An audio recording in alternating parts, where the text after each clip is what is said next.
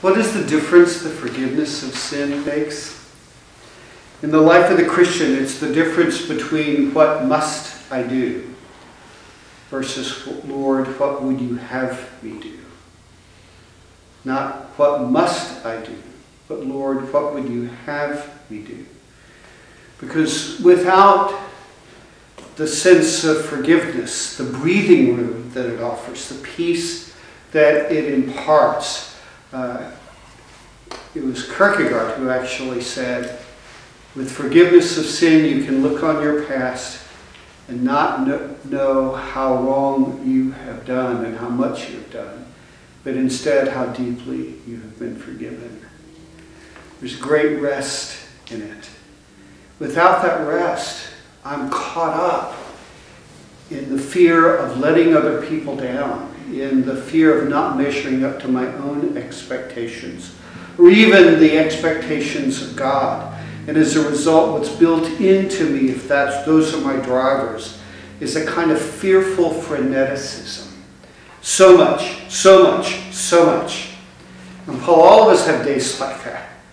The truth of the matter is, is that if that's actually the characteristic of our emotional makeup, is to fearfully live under an increasing level of obligations, the heart of the matter is not false expectations. The heart of the matter is that my heart does not know that I'm at rest with God, and that I'm His, that He is mine. And out of that, I'm free to serve, which is very different from being pulled by all of my own inner obligations, as well as the obligations of those around me which are taskmasters with whips to keep me in line, to do the thing that I must do. It's a terrible way to live. And there are plenty of Christians who you would think would know better, who live precisely like that. It doesn't mean that we don't live with perseverance. There is a difference, though. Perseverance is, in fact, calling. It's a part of the responsibility that we have been given actually by God to do well and to press in. Jesus definitely does not condemn perseverance. Just the opposite. When the four, when the five friends are bringing the man in to be healed, and of course Mark adds that, well, how they got in wasn't through the front door. What he says to them is, this is translated, take heart. It literally means, be courageous. Keep at it. This is worth it. But we understand that if our sins are forgiven and we're called to perseverance, which can really be hard at times, we know that we're there by divine appointment. We know that God's work is in it, that He will give us the provisions that we need to be able to press in, even into the most difficult places. Because more often than not, just like the story of the five friends, that which we persevere into has everything to do with service and ministry to other people. It has to do with going the extra mile for their sake, which is why Jesus doesn't condemn the five friends. He actually says, be courageous, keep at it. And then, of course, says to the man, your sins are forgiven before anything else. Making the point that which is easier or harder, forgiveness of sins or healing? Forgiveness of sin is much harder. Healing by comparison is easy. And so that's why he says, and so that you may know that the Son of Man has authority on earth to forgive sin, take up your bed and walk. And of course the man immediately does. And he goes home. Now, we don't know what the man faced when he went home. I don't know whether it was an easy lot or a difficult one. Just because even you are miraculously healed doesn't guarantee you a better future, at least in terms of your circumstances. What I think about in terms of all of this is that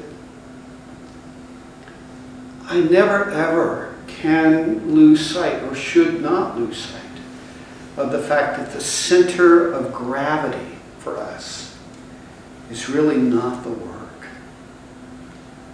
The center of gravity is life with God.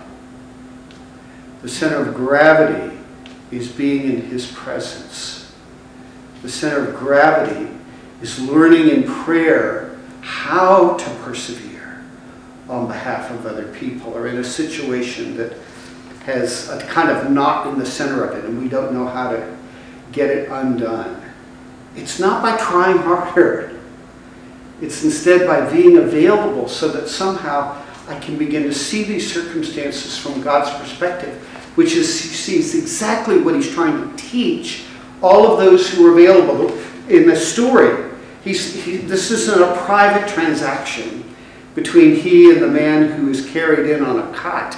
Instead, what's going on, it's a teaching moment that declares the centrality of the forgiveness of sins and the uniqueness of Jesus in his capacity to be able to do this. So that you may know that the, the Son of Man has authority on earth to forgive sin. It's, in that sense, an evangelical moment. But for us who say, Yes, I've trusted in you and I believe you for the forgiveness of sin, it, it, I'm reminded in the story that this isn't just these things are written that you might know that you have eternal life, as in going to heaven.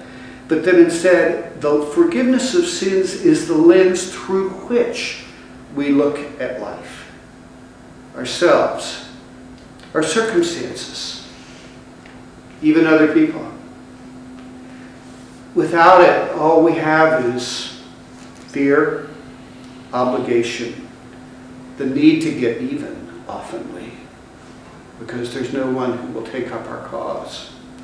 And a kind of jealousy that always festers underneath because somebody's getting it easier or doing it better than we are. So we're invited actually in this story into a place of rest, a recentering of our life on the most important truth of all, the essence of what it means to be a Christian is to know that your sins are forgiven through the death and resurrection of Jesus. Everything else is like way down the line in comparison to that. And out of that, learning how to think and live in a way that reflects that lens, that perspective, that utter importance of it in our relationships, the way we view ourselves and other people. So, the call to us take courage, your sins are forgiven. And to live life with that call, because that is the only place of peace. Amen.